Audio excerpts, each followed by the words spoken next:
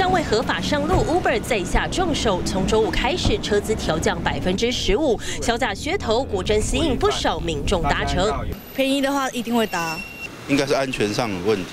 就来试算看看同距离到底差多少。台北车站到一零一共七点三公里，基本车资 Uber 调降到五十元，计程车就硬生生多了两倍。再加上里程数延迟计时，Uber 一趟一百七十块不到，计程车就多了四十九元。调降汇率会增加刺激来来搭车，只要乘客。可以成长的越多，然后有越多人在使用 Uber 的时候，其实这个也帮助到驾驶嘛。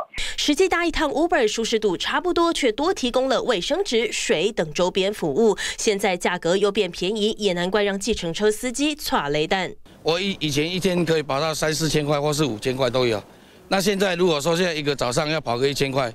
真的很难啊，难上加难的。大车是要依法缴税，司机大哥呢负担了计程车的成本，所以他可以用完全没有成本的负担的方式来回馈给乘客。我想在这基本点是非常非常的不公平。预计近期就会向交通部提出方案降价，让乘客回流，免得正当缴税合法上路的企业却持续遭受打压。就城市连周蝶台北报道。